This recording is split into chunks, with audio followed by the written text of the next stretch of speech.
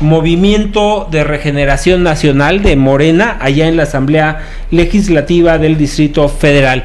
Señor diputado César Cravioto, te agradezco, como siempre, el que nos hagas el favor de tomar la llamada. ¿Cómo estás? Muy buenas tardes a ti y a tu auditorio. Muy bien, gracias, eh, señor diputado.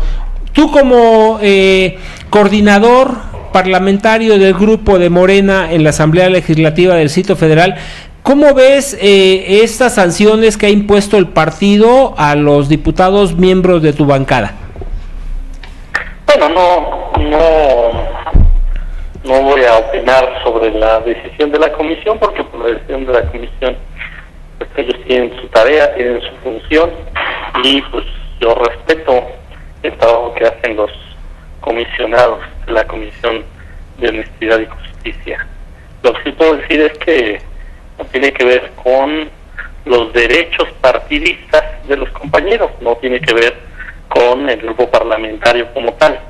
O sea que no debe haber, digamos, ninguna diferencia en cuanto al trabajo del grupo parlamentario, porque la resolución no habla del grupo parlamentario, habla de derechos partidistas de los compañeros.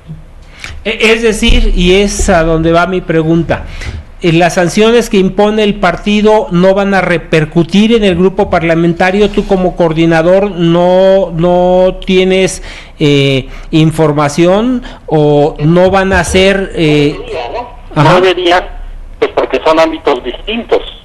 Nosotros eh, somos respetuosos de las instancias del partido y las instancias del partido pues tienen una lógica de eh, partido, de los estatutos del partido. es decir, que van a seguir trabajando en la Asamblea Legislativa del Distrito Federal los diputados que han sido sancionados por el partido, van a seguir legislando, van a seguir haciendo su trabajo o se van a ver suspendidos. No, no, no. Del grupo parlamentario no son suspendidos, son suspendidos de sus derechos políticos, partidistas, no del grupo parlamentario como tal. Entonces, esperemos que eh, no...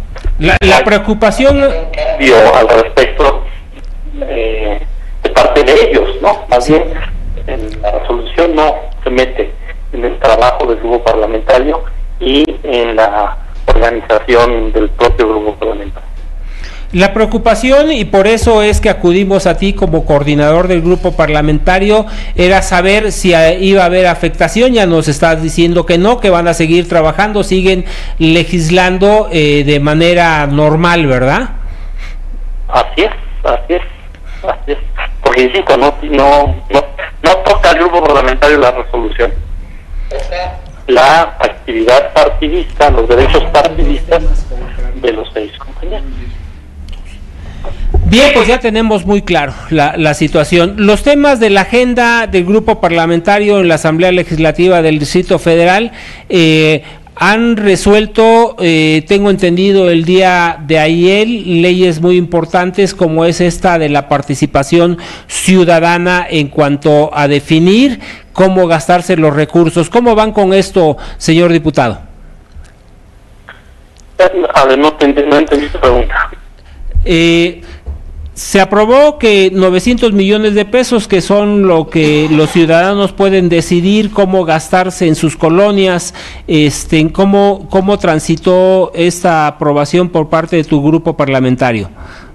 Bueno, todavía digamos que la parte electoral está todavía solo, solamente en propuestas. Estamos, cada grupo parlamentario presentó su iniciativa electoral y la vamos a discutir. Ese es el tema prioritario porque además tenemos como fecha límite el mes de mayo. En mayo tiene que salir la ley electoral porque es la que va a regir los comicios del 2018 en la Ciudad de México.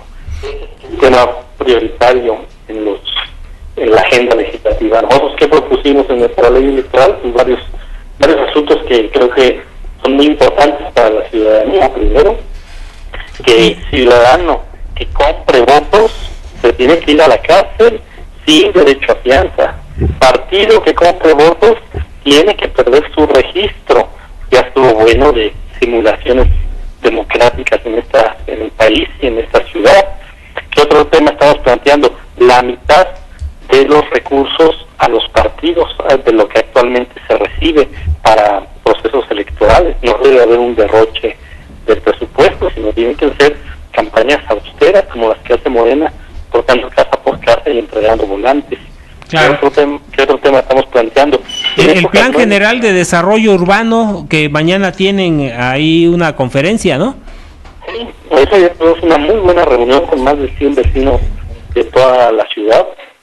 Entonces vamos a defender el programa, vamos a defender que no pase el programa de desarrollo urbano como está planteando el gobierno, porque si pasa ese programa se va a abrir la ventana para que se mantenga eh, estas irregularidades en tantas construcciones y seguir expulsando a los capitalinos de sus colonias para eh, que se hagan los megadesarrollos que va a estar impulsando el gobierno de la ciudad. Esos son dos de los temas fundamentales de nuestra agenda. Que ¿no? están- El electoral y el, y, y lo- y el desarrollo urbano.